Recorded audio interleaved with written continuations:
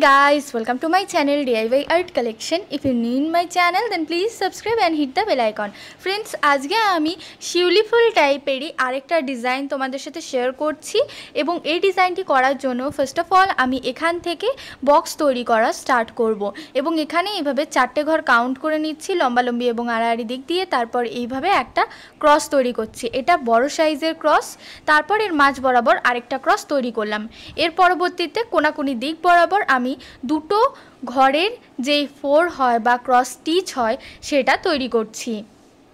এখন কোনাকুনি দিক বরাবর এইভাবেই আমি ক্রস স্টিচ তুলতে থাকব।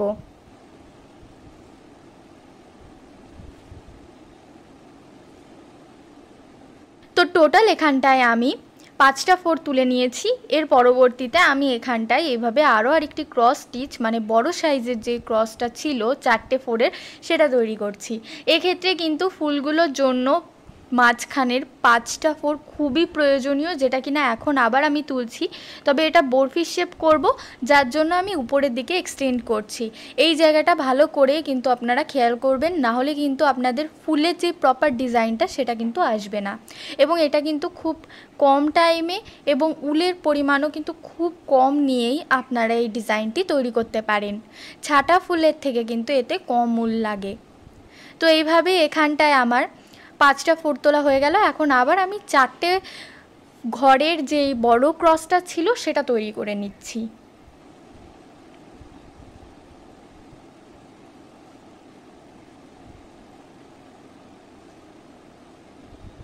সেক্ষেত্রে দেখতেই পাচ্ছেন যে বড় ক্রসটা তৈরি করা হয়ে গেছে, এখন কোনাকুনি দিক বরাবর এইভাবে আমি আবার চারটে ফোর তুলে নিচ্ছি। এক্ষেত্রে যদি কেউ নিউ বিগিনার্স হন, যে আসন প্রথম করছেন, তার জন্য সুবিধা হবে। এর জন্য আমি পুরো বক্সটাই কীভাবে তৈরি করতে হবে সেটা দেখিয়ে দিচ্ছি।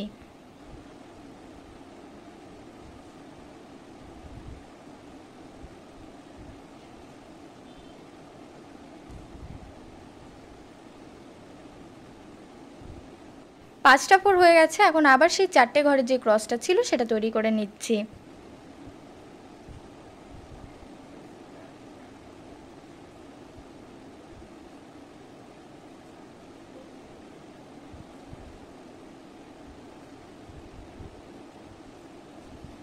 জায়গায় জাস্ট দুটো ফোর তুলে আমার এই জায়গাটা পুরো কমপ্লিট হয়ে যাচ্ছে এবং বরফির শেপটাও পুরো কমপ্লিট হয়ে যাচ্ছে এর পরবর্তীতে আমি সেন্টারের অংশটি তৈরি করব।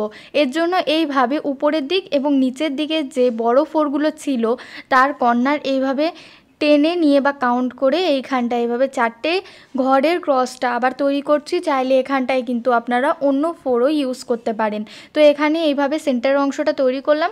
এর পরবর্তীতে হোয়াইট কালারের উল নিয়ে যে সেকেন্ড ফোরটা থাকছে, তার থেকে এইভাবে স্টিচ করছি এবং হলুদ ফোরের যেই কর্নারগুলো আছে, তার মধ্যে এইভাবে ফোর তুলছি। প্রত্যেকটা ক্রস স্টিচের মাঝখানে যে ঘরগুলো রয়েছে, সেখান থেকে কিন্তু ফোর তুলছি। এই জায়গাটা ভালো করে খেয়াল করবেন। এক্ষেত্রে কিন্তু কোনো ক্রস স্টিচের কর্নারের যে ফোর সেখান থেকে ফোর উঠছে না। এই জায়গাটা ভালো করে এইভাবে লেবেল করে নেবেন। এর পরবর্তীতে দেখুন ক্রস স্টিচের মাঝখানে যে ফোরটি থাকছে, সেখান থেকে কিন্তু আমি ফোর তুলছি।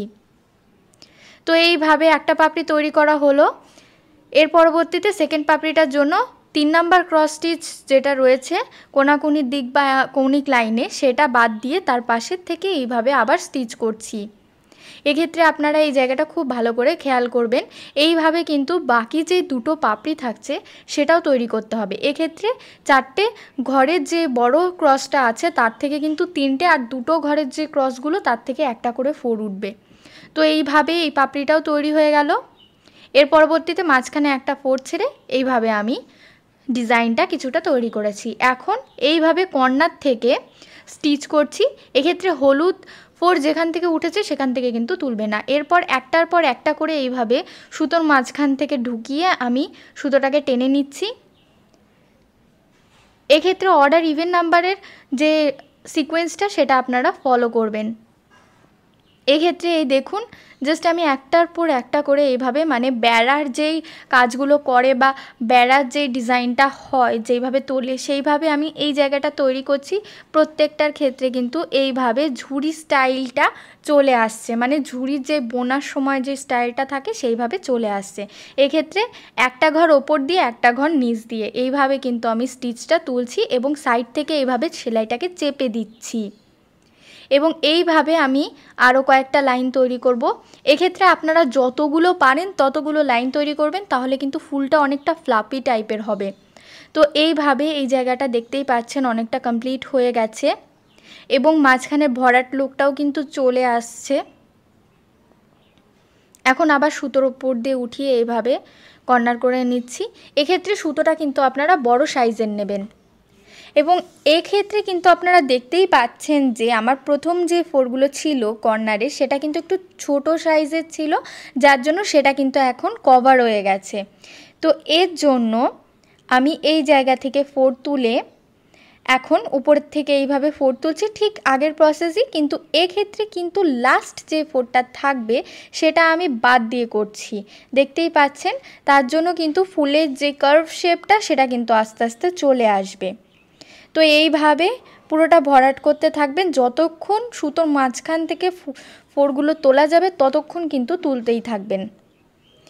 তো এখানটা একটা ঘর ভুল হয়েছিল, তো এর জন্য আমি ঠিক করে নিলাম। এইভাবে দেখুন, একটার উপর থেকে আরেকটা তুলে আমি ডিজাইনটি তৈরি করছি। সাইডের অংশটাও হয়ে গেছে, এখন মাঝখানে যে তিনটে ফুট ছিল, সেটা তৈরি করছি।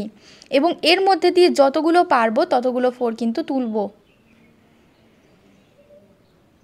যাতে ভিতরের যে অংশটা বা ফোরগুলো সেটা দেখা না যায়। তো এইভাবে আমার এই পাপড়িটা তৈরি হয়ে গেছে। সেম আরেকটা পাপড়ি আমি তৈরি করে দেখাবো।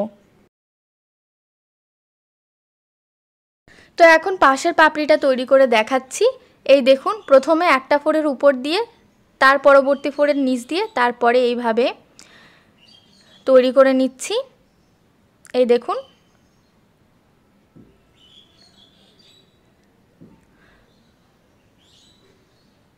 এই জায়গাটা ভালো করে খেয়াল করবেন আপনারা।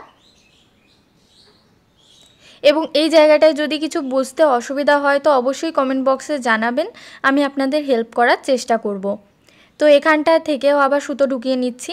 এক্ষেত্রে কিন্তু নিচ থেকেই যে স্টার্ট করবেন এরকম না। উপর থেকে এইভাবে সুতোটাকে টেনে নেবেন এবং তার পরবর্তীতে চেপে চেপে এভাবে ভেতরে ঢুকিয়ে দেবেন। তাহলে কিন্তু আপনাদের ফোরগুলো সুন্দর হবে আর সুতোকে কিন্তু খুব বেশি টানবেন না। ফ্লাফিনেস রাখার জন্য সাইড থেকে কিন্তু খুব বেশি টানবেন না জাস্ট এইভাবে চেপে দেবেন। তাহলে কিন্তু ফ্লাপি হবে এবং পাপড়িগুলো দেখতে খুব সুন্দর হবে। যেমন এইভাবে আমি করছি। তো এখানটায় দেখতেই পাচ্ছেন, একটার পর একটা করে তৈরি করছি এবং প্রত্যেকটা ফোর কিন্তু পরিষ্কারভাবে বোঝা যাবে। এবং এখানটায় আবার আমি সেমভাবে পাপড়িটি তৈরি করে নিচ্ছি। এক্ষেত্রে যদি লাস্ট অবধি আপনারা একবারে সুতোতে পুরোটা ফোর না তুলতে পারেন, তাহলে হাফ তুলে সুতোটা বার করে নেবেন, তারপরে বাকি অংশটা করবেন। তো এখানটায় দেখতেই পাচ্ছেন যে ফার্স্ট ফোরের যে লাইনটা সেটা প্রায় কমপ্লিট হয়ে গেছে। তো এখান থেকে আমি জাস্ট আরেকটা ফোর এক্সট্রা তুলে নিচ্ছি। এবং এর পরবর্তীতে দেখুন, এই জায়গাটা কিন্তু কমপ্লিট হয়ে গেল। তো এইভাবে উপরের যে তিনটে ফোরের লাইনটা থাকছে, সেটাও তৈরি করে নেব। তবে তার আগে এই সাইডটা তৈরি করে নিলাম। এক্ষেত্রে কিন্তু আবারও বলছি, সুতোটা বড় সাইজের নেবেন, যাতে একটা সুতোতেই আপনাদের পুরো ফুলটা কমপ্লিট হয়ে যায়। তো এইভাবে আবার আমি ঘুরিয়ে নিচ্ছি। এবং লাস্ট অংশ থেকে যতগুলো ফোর তোলা যায়, ততগুলোই তোলার চেষ্টা করব। তো এই জায়গাটা হয়ে গেছে। লাস্টে দেখতেই পাচ্ছেন ফ্লাফিনেস চলে এসছে এবং পুরো পাপড়িগুলো আমি তৈরি করে নিয়েছি এবং ফুলটা পুরোটাই ফুটে উঠেছে। এখন সাইডে যে ফাঁকা অংশটা থাকছে, তার ভিতরে এইভাবে রেড কালারের উল দিয়ে ফিল করে দিচ্ছি। এক্ষেত্রে প্রত্যেকটা সেলাইয়ের ভেতরে কিন্তু আমি এইভাবে উলটাকে পাস করিয়ে দেবো, যাতে ফুলের পাপড়ি যেটা, সেটা যেন অনেকটাই ফুলে ওঠে। এবং ফ্লাফিনেসটাও কিন্তু চলে আসে। এক্ষেত্রে কিন্তু সুতোটাকে বার করে দেবেন। হোয়াইট কালারের যে লাইনটা সেটাকে টেনে বার করবেন এবং যে রেড কালারের লাইনটা সেটাকে আরও ভেতরের দিকে ঢুকিয়ে দেবেন। তো এইভাবে আমি চারটে সাইডই তৈরি করে নিচ্ছি।